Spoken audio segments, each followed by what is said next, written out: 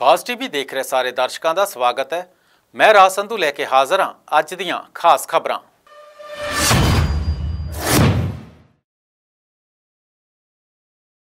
ਸ਼੍ਰੀ ਅਕਾਲ ਤਖਤ ਸਾਹਿਬ ਵਿਖੇ ਅੱਜ ਕੱਲੂਕਾਰਾ ਦਿਵਸ ਮਨਾਇਆ ਗਿਆ। ਇਸ ਮੌਕੇ ਸ਼੍ਰੀ ਅਕਾਲ ਤਖਤ ਸਾਹਿਬ ਦੇ ਜਥੇਦਾਰ ਗਿਆਨੀ ਹਰਪ੍ਰੀਤ ਸਿੰਘ ਨੇ ਕੌਮ ਦੇ ਨਾਂ ਸੰਦੇਸ਼ ਜਾਰੀ ਕੀਤਾ। ਆਪਣੇ ਸੰਦੇਸ਼ ਵਿੱਚ ਉਹਨਾਂ ਕਿਹਾ ਹੈ ਕਿ ਸਾਡਾ ਏਕਾ ਹੀ ਸਾਡੀ ਤਾਕਤ ਹੈ। ਜਥੇਦਾਰ ਨੇ ਕਿਹਾ ਹੈ ਕਿ ਜੇਕਰ ਅਸੀਂ ਇਕੱਠੇ ਹੋ ਜਾਵਾਂਗੇ ਤਾਂ ਸਾਨੂੰ ਕਿਸੇ ਤੋਂ ਇਨਸਾਫ ਮੰਗਣ ਦੀ ਲੋੜ ਨਹੀਂ ਪਵੇਗੀ। ਅਸੀਂ ਸਰਕਾਰ ਨੂੰ ਝੁਕਾ ਸਕਦੇ ਹਾਂ, ਪਰ ਇਸ ਲਈ ਸਾਰਿਆਂ ਨੂੰ ਇਕੱਠੇ ਹੋਣ ਦੀ ਲੋੜ ਹੈ। ਇਸ ਮੌਕੇ ਜਥੇਦਾਰ ਨੇ ਪੰਥਕ ਆਗੂਆਂ ਅਤੇ ਸਾਰੀਆਂ ਜਥੇਬੰਦੀਆਂ ਨੂੰ ਅਪੀਲ ਕਰਦਿਆਂ ਕਿਹਾ ਹੈ ਕਿ ਕਾਫਲੇ ਬਣ ਕੇ ਪਿੰਡਾਂ ਵਿੱਚ ਜਾਈਏ ਅਤੇ ਪੰਥ ਨੂੰ ਇਕੱਠਾ ਕਰੀਏ, ਕਿਉਂਕਿ ਸਾਡੀ ਸ਼ਕਤੀ ਦਾ ਸਰੋਤ ਪਿੰਡਾਂ ਵਿੱਚ ਹੈ।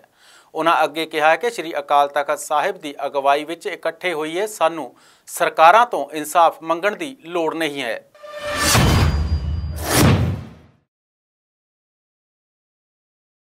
ਪੰਜਾਬ ਦੇ ਮੁੱਖ ਮੰਤਰੀ ਭਗਵੰਤ ਮਾਨ ਵੱਲੋਂ ਕੇਂਦਰ ਨੂੰ ਇੱਕ ਚਿੱਠੀ ਲਿਖੀ ਗਈ, ਜਿਸ ਵਿੱਚ ਝੋਨੇ ਦੇ ਸੀਜ਼ਨ ਦੌਰਾਨ ਵਾਧੂ ਬਿਜਲੀ ਦੀ ਮੰਗ ਕੀਤੀ ਗਈ ਹੈ।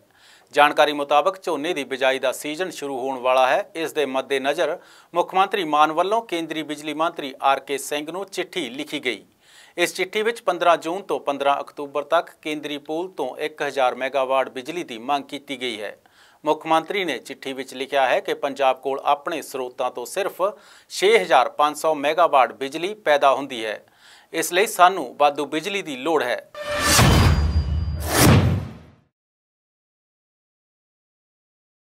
ਪੰਜਾਬ ਕਾਂਗਰਸ ਦੇ ਸੀਨੀਅਰ ਆਗੂ ਪ੍ਰਤਾਪ ਸਿੰਘ ਬਾਜਵਾ ਨੂੰ ਲੈ ਕੇ ਹੰਗਾਮਾ ਖੜਾ ਹੁੰਦਾ ਨਜ਼ਰ ਆ ਰਿਹਾ ਹੈ। ਆਮ ਆਦਮੀ ਪਾਰਟੀ ਦੇ ਆਗੂ ਬਾਜਵਾ ਦੇ ਇਸ ਬਿਆਨ ਤੋਂ ਨਾਰਾਜ਼ ਹਨ। ਪੰਜਾਬ ਸਰਕਾਰ ਦੇ ਵਿੱਤ ਮੰਤਰੀ ਹਰਪਾਲ ਸਿੰਘ ਚੀਮਾ ਨੇ ਬਾਜਵਾ ਨੂੰ ਮੁਆਫੀ ਮੰਗਣ ਲਈ ਇੱਕ ਹਫ਼ਤੇ ਦਾ ਸਮਾਂ ਦਿੱਤਾ ਹੈ। ਚੀਮਾ ਨੇ ਕਿਹਾ, ਹਰ ਵਿਅਕਤੀ ਦਾ ਆਪਣਾ ਸਵੈਮਾਨ ਹੁੰਦਾ ਹੈ। ਬਾਜਵਾ ਨੇ ਜਨਤਕ ਨੁਮਾਇੰਦਿਆਂ ਦਾ ਮਜ਼ਾਕ ਉਡਾਇਆ ਹੈ।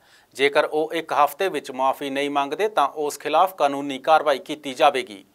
ਭਾਜਪਾ ਦੀ ਇਸ ਹਰਕਤ ਲਈ ਮੈਂ ਕਾਂਗਰਸ ਦੇ ਰਾਸ਼ਟਰੀ ਨੇਤਾਵਾਂ, ਸੋਨੀਆ ਗਾਂਧੀ, ਰਾਹੁਲ ਗਾਂਧੀ ਅਤੇ ਕਾਂਗਰਸ ਦੇ ਰਾਸ਼ਟਰੀ ਪ੍ਰਧਾਨ ਮਲਿਕਾਰਜੁਨ ਖੜਗੇ ਨੂੰ ਵੀ ਪੱਤਰ ਲਿਖਣ ਜਾ ਰਿਹਾ ਹਾਂ। ਉਹਨਾਂ ਨੂੰ ਅਪੀਲ ਕੀਤੀ ਜਾਵੇਗੀ ਕਿ ਅਜਿਹੇ ਆਗੂ ਖਿਲਾਫ ਕਾਰਵਾਈ ਕੀਤੀ ਜਾਵੇ।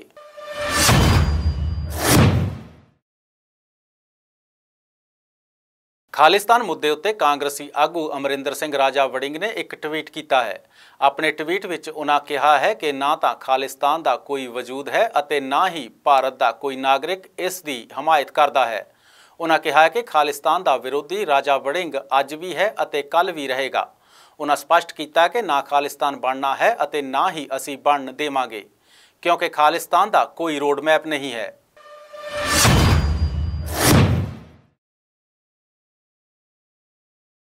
ਰਾਸ਼ਟਰਪਤੀ ਦ੍ਰੋਪਦੀ ਮੁਰਮੂ ਨੂੰ ਸੂਰੀਮਾਨ ਦੇ ਸਰਵਉੱਚ ਨਾਗਰਿਕ ਸਨਮਾਨ ਨਾਲ ਸਨਮਾਨਿਤ ਕੀਤਾ ਗਿਆ ਹੈ। ਸੂਰੀਮਾਨ ਦੇ ਰਾਸ਼ਟਰਪਤੀ ਚੰਦਰਕੀ ਪ੍ਰਸਾਦ ਸੰਤੋਖੀ ਨੇ ਮਜ਼ਬੂਤ ਦਵੱਲੇ ਸੰਬੰਧਾਂ ਉੱਤੇ ਰਾਸ਼ਟਰਪਤੀ ਦ੍ਰੋਪਦੀ ਮੁਰਮੂ ਨੂੰ ਵਧਾਈ ਦਿੱਤੀ।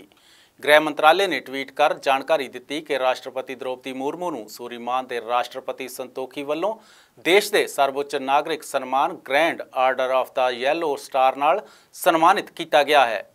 ਭਾਰਤ ਅਤੇ ਸੂਰੀਮਾਨ ਦਰਮਿਆਨ ਦੁਵੱਲੇ ਸੰਬੰਧ ਬਹੁਤ ਮਜ਼ਬੂਤ ਹਨ। ਪ੍ਰਧਾਨ ਮੰਤਰੀ ਨਰਿੰਦਰ ਮੋਦੀ ਨੇ ਵੀ ਇਸ ਲਈ ਰਾਸ਼ਟਰਪਤੀ ਨੂੰ ਵਧਾਈ ਦਿੱਤੀ ਹੈ।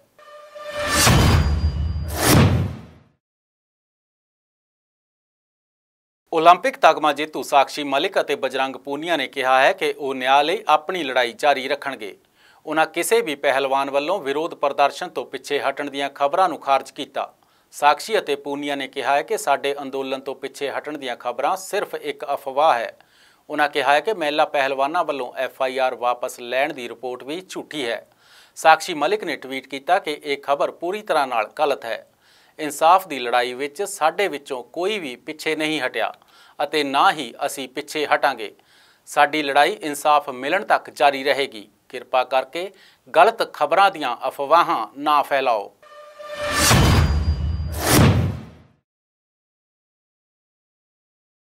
ਸੀਬੀਆਈ ਦੀ 10 ਮੈਂਬਰੀ ਟੀਮ ਨੇ ਬਾਲਾਸੌਰ ਰੇਲ ਹਾਦਸੇ ਵਾਲੀ ਜਗ੍ਹਾ ਦਾ ਦੌਰਾ ਕੀਤਾ ਅਤੇ ਆਪਣੀ ਜਾਂਚ ਸ਼ੁਰੂ ਕੀਤੀ। ਰੇਲਵੇ ਦੇ ਇੱਕ ਅਧਿਕਾਰੀ ਨੇ ਇਹ ਜਾਣਕਾਰੀ ਦਿੱਤੀ। ਖੁਰਦਾ ਰੋਡ ਮੰਡਲ ਦੇ ਡੀਆਰਐਮ ਆਰ ਰਾਏ ਨੇ ਕਿਹਾ ਹੈ ਕਿ ਉਹਨਾਂ ਦੀ ਜਾਣਕਾਰੀ ਮੁਤਾਬਕ ਸੀਬੀਆਈ ਜਾਂਚ ਸ਼ੁਰੂ ਹੋ ਗਈ ਹੈ। ਰੇਲਵੇ ਬੋਰਡ ਨੇ ਐਤਵਾਰ ਨੂੰ ਹਾਦਸੇ ਦੀ ਸੀਬੀਆਈ ਜਾਂਚ ਦੀ ਸਿਫਾਰਿਸ਼ ਕੀਤੀ ਸੀ।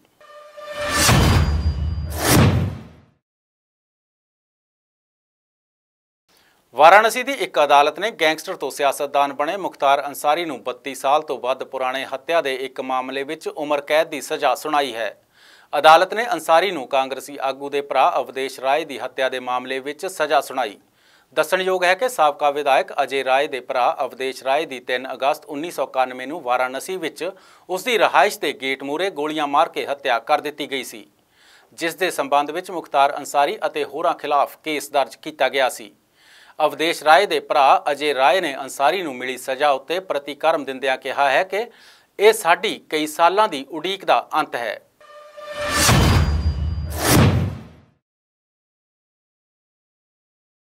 ਸ਼ਰਾਬ ਘੁਟਾਲਾ ਮਾਮਲੇ ਵਿੱਚ ਜੇਲ੍ਹ ਵਿੱਚ ਬੰਦ, ਦਿੱਲੀ ਦੇ ਸਾਬਕਾ ਉਪ ਮੁੱਖ ਮੰਤਰੀ ਨੂੰ ਦਿੱਲੀ ਹਾਈ ਕੋਰਟ ਤੋਂ ਵੱਡਾ ਝਟਕਾ ਲੱਗਾ ਹੈ।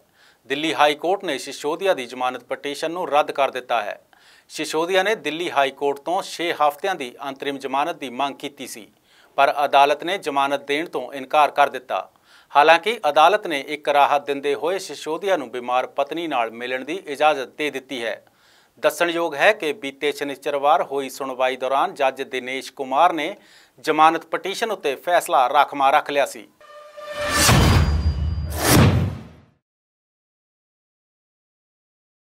ਫਿਲਮੀ ਅਦਾਕਾਰ ਜੋਗਰਾਜ ਸਿੰਘ ਨੇ ਸ਼੍ਰੀ ਚਮਕੌਰ ਸਾਹਿਬ ਵਿਖੇ ਪ੍ਰੈਸ ਕਾਨਫਰੰਸ ਦੌਰਾਨ ਲੋਕ ਸਭਾ ਹਲਕਾ ਸ਼੍ਰੀ ਅਨੰਦਪੁਰ ਸਾਹਿਬ ਤੋਂ ਚੋਣ ਲੜਨ ਦਾ ਐਲਾਨ ਕੀਤਾ। ਉਹਨਾਂ ਚੋਣ ਕਿਸ ਪਾਰਟੀ ਵੱਲੋਂ ਲੜਨੀ ਹੈ, ਇਹ ਨਾਲ ਬੈਠੇ ਮਹਾਪੁਰਸ਼ ਸੰਤ ਬਾਬਾ ਬਲਵੀਰ ਸਿੰਘ ਗੱਗੋ ਵਾਲੇ ਤੈਅ ਕਰਨਗੇ। ਸੋ ਇਹ ਸਨ ਅੱਜ ਦੀਆਂ ਕੁਝ ਖਾਸ ਖਬਰਾਂ ਕੱਲ ਫੇਰ ਮਿਲਾਂਗੇ ਕੁਝ ਹੋਰ ਖਬਰਾਂ ਦੇ ਨਾਲ। ਤਦ ਤੱਕ ਮੈਨੂੰ ਦਿਓ ਇਜਾਜ਼ਤ, ਸਤਿ ਸ਼੍ਰੀ ਅਕਾਲ।